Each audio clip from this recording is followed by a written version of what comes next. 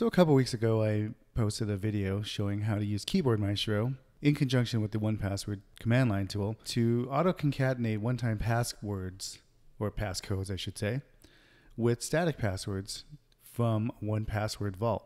The reason why we wanted to do that is because the OPNsense Firewall admin page does not have a dedicated field for typing in the one-time passcode when you're logging in to an OPNsense Firewall account.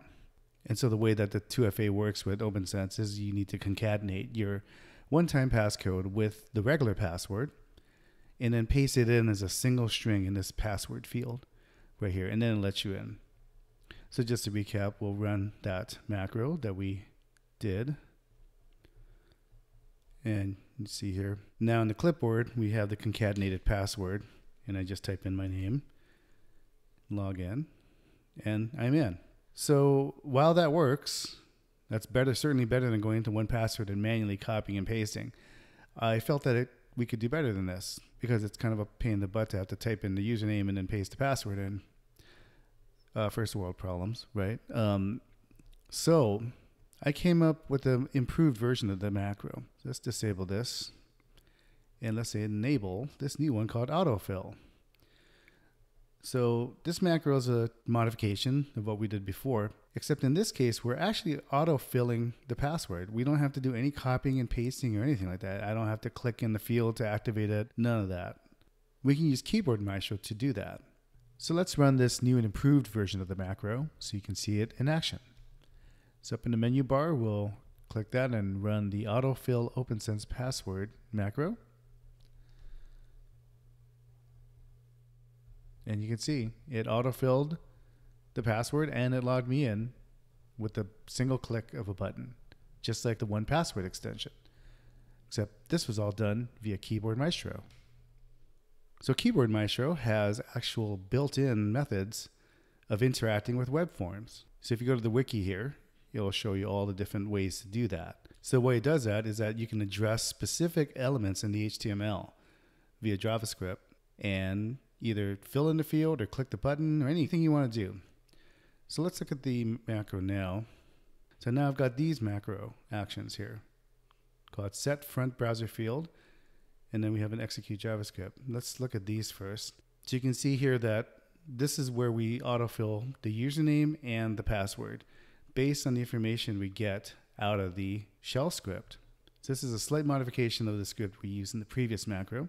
So what's going to happen now is instead of me having to type in my username and then going to the password field and pasting it in, we're going to tell Keyboard Maestro just fill in this field on the web page with this information and then do the same thing for password field. So how do we know what form field to address? That's pretty simple. If you open up, in this case, Chrome, let's go back to the login page here. What we're going to do is we want to get the actual under the hood, the HTML element to address. So in this case, we're going to select the username field and right click on it and go inspect.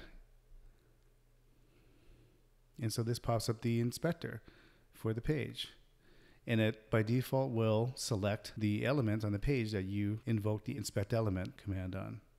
You can see its username field. So if you right click on this highlighted element and go to copy and copy JS path. Uh, just a side note, that copy JS path, for some reason, Safari, at least as of this recording, that's not an option when you go into inspect element mode. I'm not sure why. Maybe there's a trick to that I don't know of, but in Safari, this won't show up. So that's why I'm doing it in Chrome. But you want to copy the JS path, the JavaScript path to this element. And let's open up a text edit window. And so we have something to paste into. So if you paste, this is what we get.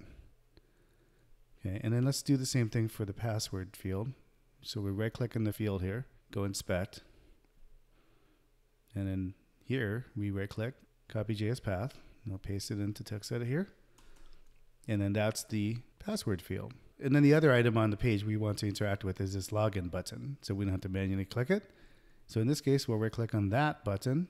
Again, choose inspect and do the same. We'll right click, copy JS path. So these are three elements that we want to interact with on the page.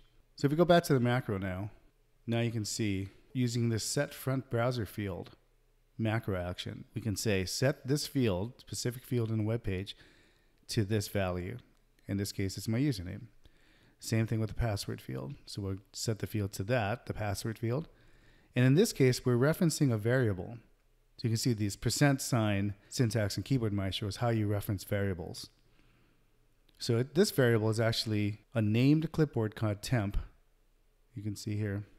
And that comes from the output of the shell script here. So we ran the shell script, and the output of the shell script gets saved to a named clipboard that I call temp. So this named clipboard is actually a separate clipboard. It's kind of a private clipboard to Keyboard Maestro. So it doesn't, uh, you don't mess around with the system clipboard. So I save the data there because I don't want to adulterate whatever maybe in the system clipboard. Um, but that's where that data is from. So we're referencing the password that was echoed out to the temp clipboard and then using that as the information to virtually type into that password field. And then down here, you can see the execute JavaScript in front browser, which is a different action. In this case, you're actually going to like click on something, and we, but we use the same syntax, the JavaScript syntax, to that element, and that's where we're getting it from here. So in this case, we're actually going to add this click method to the end of this selector here, query selector, and we're going to tell Keyboard Maestro we want to click that button, not just select it. And then here we have a thing that just basically flushes the temp clipboard, the named clipboard. Even though this temp clipboard is a named clipboard and it's private to Keyboard Maestro, you still want to clear things out just for security reasons. You don't want old data, especially passwords, hanging out in the uh, clipboard like that. Okay, so now that we've got that set up, and so what's great about that is you notice that this works for the front browser, whatever browser is in the foreground. So you don't have to really target a specific browser for this, since you're just telling Keyboard Maestro to find elements in the HTML page. It doesn't matter what browser you're using. So that's the nice thing about this macro is that it works in all browsers. But there is one caveat. In order for it to work in a browser, you need to allow the browser to be controlled by Keyboard Maestro. So by default, the browser will not allow you to do that. So in Chrome, you're going to go to View, Developer, and then make sure this Allow JavaScript from Apple Events is enabled. Otherwise, this script will not work because the browser will block it. In Safari, uh, you're going to have to uh, enable the Developer menu up here, which is off by default. But if you go to the Settings menu and then go to Advanced tab, down here, make sure this checkbox is enabled, and then this Develop menu will appear.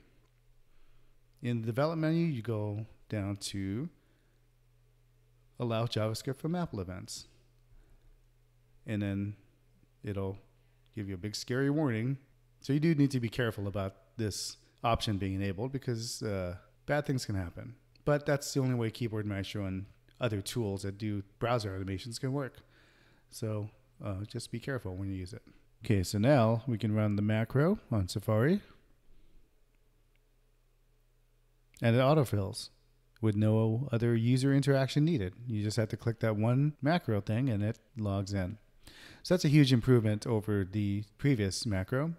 This actually acts like the 1Password extension. It just logs you in, does the auto concatenation of the one time password, and clicks the button for you.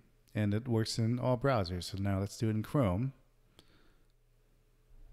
And there it goes. So that's a nice way that you can take advantage of browser form actions in Keyboard Maestro to emulate the autofill of 1Password.